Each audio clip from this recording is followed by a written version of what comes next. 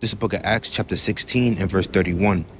And they said, Believe on the Lord Yahweh Shai HaMashiach, and thou shalt be saved, and thy house. I want to give all honor, glory, and infinite praise to the Heavenly Father, Yahweh Bahasham, Yahweh Shai Bahasham, Rachak the to the apostles and elders of Great Millstone, peace and salutations to the elect scattered abroad, pushing his truth in sincerity.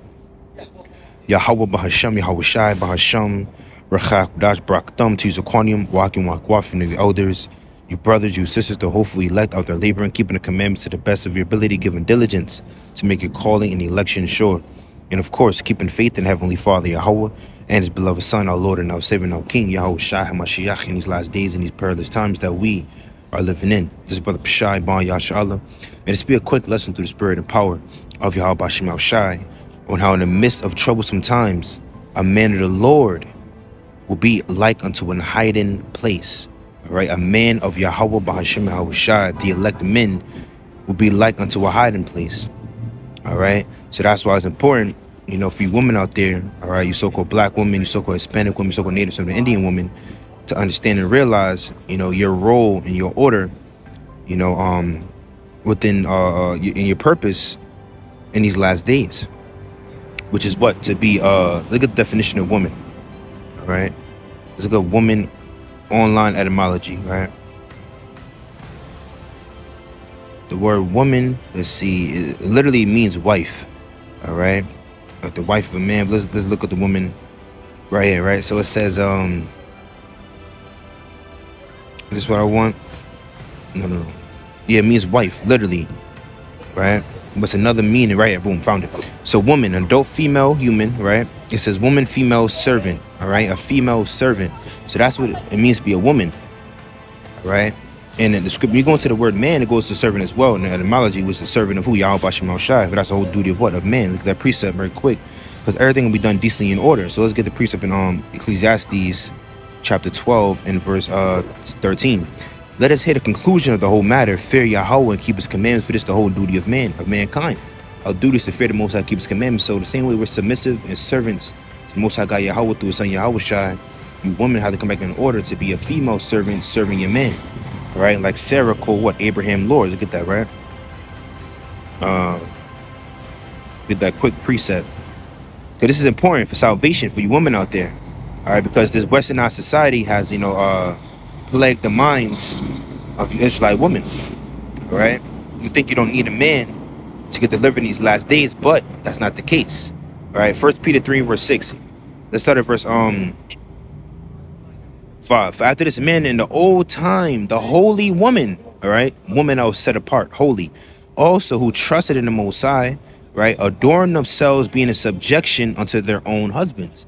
See that? So they were subject to their husbands even as Sarah obeyed Abraham, calling him Lord, whose daughters ye are. You're the daughters of Sarah, right? Like I mentioned earlier, this this this uh for the so-called uh black woman, so-called Hispanic woman, so-called Native and Indian woman, all right, the Israelite woman, all right, your daughters of Sarah, all right. So you should follow her example and remember these things, remember these precepts, as long as you do well and are not afraid with any amazement. So it goes to what in these last days, like I mentioned, um, the order, all right, like uh, the priest of Torah, Acts in chapter verse 31, it says what?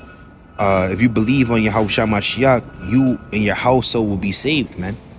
All right, meaning what? The man is the head of the household, and him, you know, serving Yahweh Shema Shai, you know, the protection given to him, you know, bestowed the power to, uh, bestowed upon him, that trickles on down. So if a brother in these last days have, you know, wives, have children, he believes in Yahweh Shema Shai, and the Most High down him spiritual power. That's for his protection and protection of his family. All right. So remember these things for you women out there. Remember to stick close to your husband. If you don't have a husband, keep faith in Yahweh Shema Shai because the precepts say this as well. Second Esdras, the second chapter, in verse uh 20. Let's verse 27. This whole chapter is good. Let's read this very fast. Second Esdras 2 and verse 27. Be not weary. Don't be afraid, man. For when the day of trouble in heaven is cometh, others shall weep and be sorrowful, but thou shalt be merry and have abundance. So when all hell break loose in society, the Most High going to take care of its elect. Because the elect consists of men, women, and children. All right?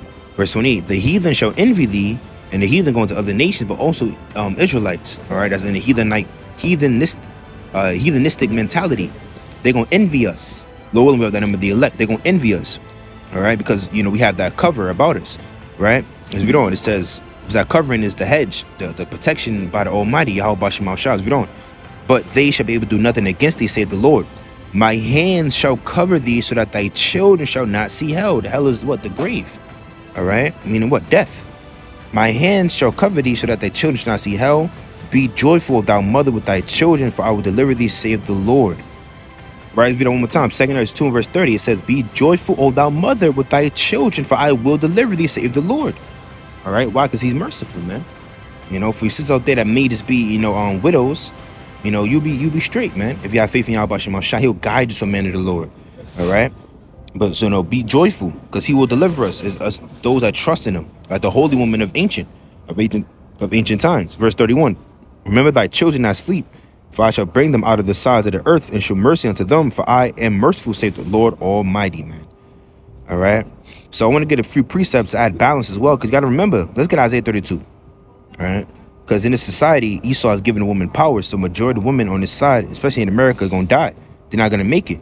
So those that believe in Yahweh Shemal Shah, if you want to make it, you have to follow these protocols. All right, which is what? Coming in order. Look at 1 Corinthians 11. 1 Corinthians 11 and verse 1. Be followers of me, even as I also am of Mashiach. Now I praise you, brethren, that you remember me in all things and keep the ordinances as I delivered them unto you. But I'll have you know that the head of every man is Hamashiach, and the head of the woman is the man, and the head of Hamashiach is Yahweh. That's the order. It's the Most High, all right? Yahweh, his son Yahweh Shai, man, then woman, all right? So that's the order. So we're coming back into that order. All right, us, you know, as Israelite men, you know, we was rebellious, we fell short, committed all type of iniquity, you know, um, spiritual um adultery against our God, Yahweh Shemal Shai. But now we come back into order and subjection to Yahweh Bashim Shai, returning unto him these last days. All right. So that's what the woman should be doing for your man. Going back to the mindset of your foremothers. All right. That was in that mindset of what? Serving uh their husbands, no matter what. And I'm gonna get, you know, this will be not too long. I want to do something quick, you know, to, to the point. All right. Right, let's get Isaiah 32 now, right? Isaiah 32 and verse 1 Behold, a king shall reign in righteousness, and princes shall rule in judgment.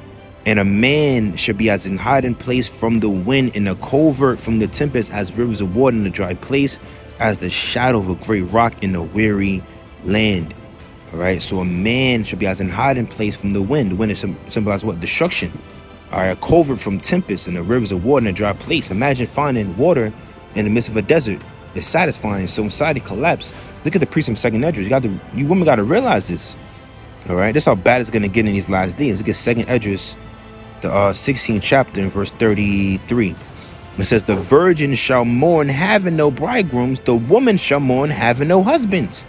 See, when that's when that time come, you know, women are gonna mourn because they don't have husbands, they don't have protection, they don't have a provider, a leader. All right, they can be out there left to to, to die. That's how bad it's going to get very soon in this, in this society. You know, through cyber attacks, EMP attacks, terrorist attacks, whatever. However Esau brings it. Oh, hell will break loose. It'll be famine, cannibalism. And they show that in every post-apocalyptic movie that the main targets be women and children. All right? It says, their daughters shall mourn, having no helpers. In the war shall their bridegrooms be destroyed, and their husbands shall perish of famine because their husbands are not of the elect. But if, you, if, you, if your man is serving Yahweh Shema Right? He's going to be delivered pursuant to Isaiah 65 verse 13, how my servant shall eat, but ye shall be hungry. All right. So the husbands that's of the elect will not perish in the midst of famine, but those that's not of the elect are going to die in the midst of famine. They're going to die by um, um wars and riots. All right. And all this all type of chaos. So go back to um look at Isaiah 32 verse 9 now. All right. So you women out there better stick by your man's side, man. Him that's serving Yahweh Shemal Shai. And like I mentioned earlier, if you don't have a husband, keep faith in Yahweh Shemal Shai. He'll guide you to one. Right? Isaiah 32 verse 9. Rise up, ye women that are at ease. Hear my voice, ye careless daughters. Give ear unto my speech. Many days and years shall ye be troubled, ye careless woman. For the shall, shall fail, the gathering shall not come. Tremble, ye women that are at, that are at ease. Be troubled, ye careless ones. Strip you, make you bare strip you and make you bare, and gird sackcloth upon your loins. You see? So get, get in order, man. Rise up, repent. Because many days and years, for a long duration of time, you're going to be troubled, man, midst of Jacob's trouble. All right? So that's why I get Isaiah 4, verse 1. Right? When you read this, read it. Isaiah 4, verse 1.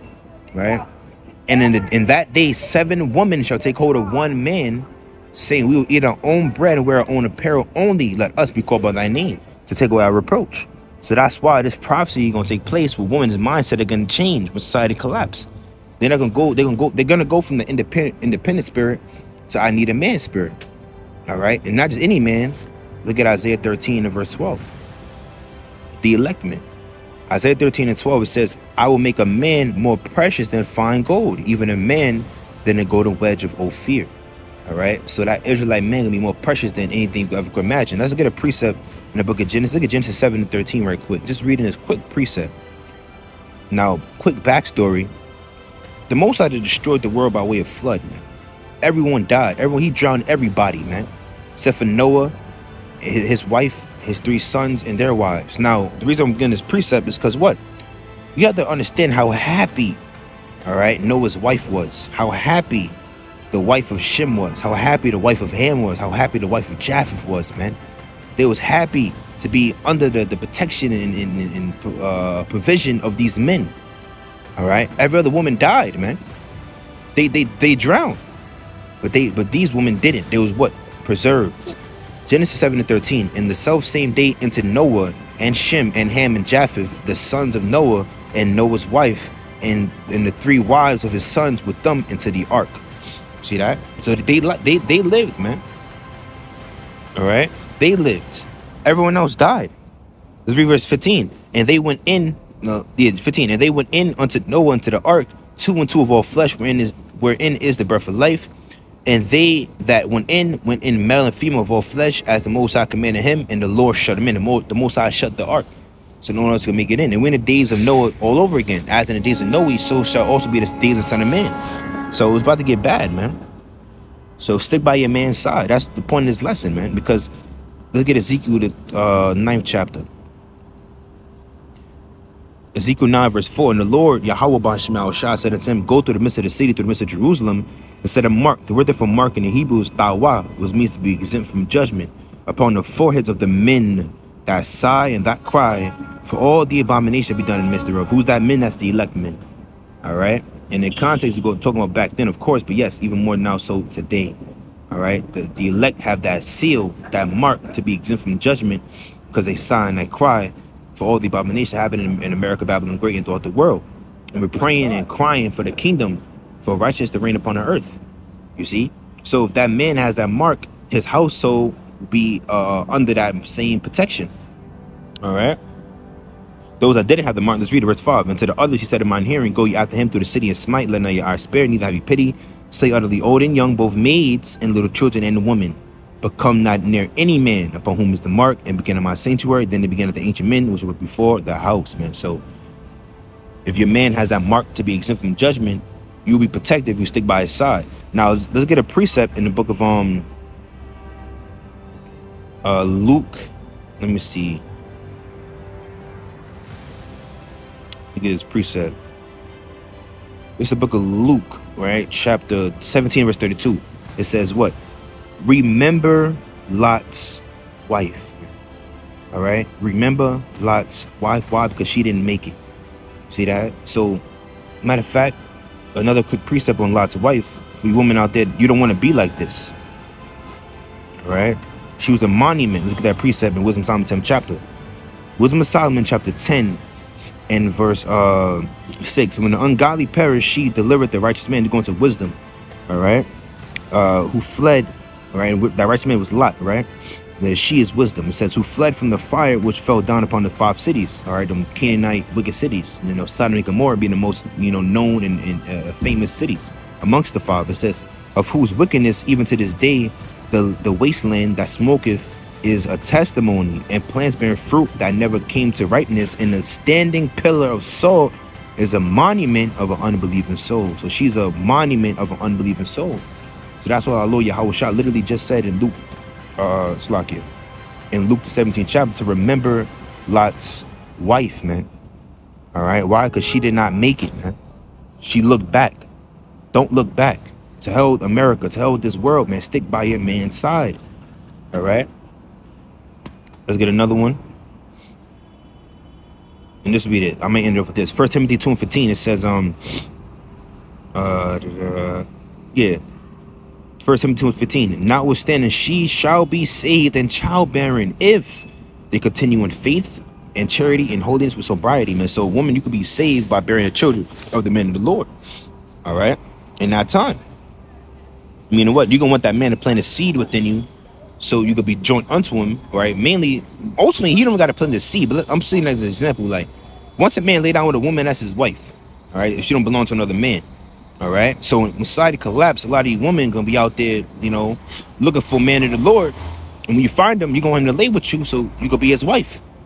All right. Now, if he plant a seed, he plant a seed. If he don't, he don't. But at the end of the day, if you stick by his side in faith and charity and sobriety, uh, sobriety and holiness, you're gonna make it. You're gonna be saved. All right. Because that man got, got that hedge. So him and his household will be delivered in these last days, man. So don't forget this. This is a quick lesson, you know, for the woman out there. Don't forget to stick by, you know, your man's side. Him not serving Yahweh Shem Shai. All right. And if you don't have a husband, be patient and wait on Yahweh Shem Shai because he will guide us to one in these last days, man. There will be no independent woman on the chariots. All right. Nah, that's out of order. All right. Things be done decently and in order. All right. So remember the holy woman of ancient times, man, that had faith in Yahweh Shem Shai. And even as Sarah obeyed Abraham, calling him Lord, man. All right. Your husband is your Lord. All right, and sit by his side. So when society collapsed and he got the hedge about him, you know, you're gonna have the hedge about you as well and your children. Why? Because you're under that man's protection, which he's under Yahweh Bashim al Shah's protection. Everything done in order. So with that, let's give all honor, glory, and infinite praise to Heavenly Father, Yahweh Bahasham, Yahweh Shai, Bahasham, Machak, Dash, the to the apostles and elders of Great Millstone. Peace and salutation. Let's guide it abroad, pushing his truth and sincerity. Without say shalom.